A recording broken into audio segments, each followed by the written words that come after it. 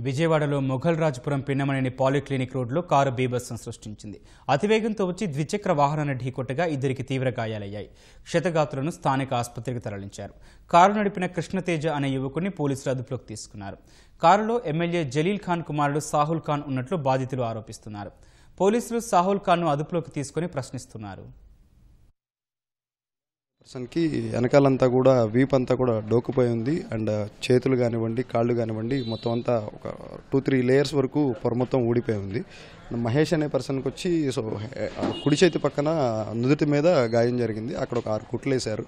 And అలాగే కుడి చేతికి గాయం జరిగింది. అలాగే కుడి కాలుకి కూడా సో గాయం జరిగిందండి. డాక్టర్లు అయితే అబ్జర్వేషన్లో పెట్టారండి. ఓకే అని చెప్పిన అయితే అన్నారు. బట్ కాకపోతే ఏంటంటే ఆ పర్సన్ లైక్ హెడ్కి దెబ్బ తగలటం వల్ల కానివ్వండి లేదంటే వేరే షాక్ వల్ల కానివ్వండి ఒక half an hour one hour బాగానే ఉంటున్నారు. తర్వాత ఏంటంటే ఆయనే నిద్రలో నుంచి లేచి నేను ఎక్కడున్నాను ఏం జరిగింది ఏంటి అనేది జరగడం జరుగుతుంది మాట్లాడడం. నేను అయితే చూడలేదండి బట్ విఐపి పర్సన్కి సంబంధించి ఉన్నారు అని అయితే కనుక మాటలు విన్నాం. రాత్రి నుంచి కూడా సో ఆ మాటలు అయితే విన్నాము. బట్ అది నేనైతే కనుక నా కళ్ళతోటి నేను చూడలేదు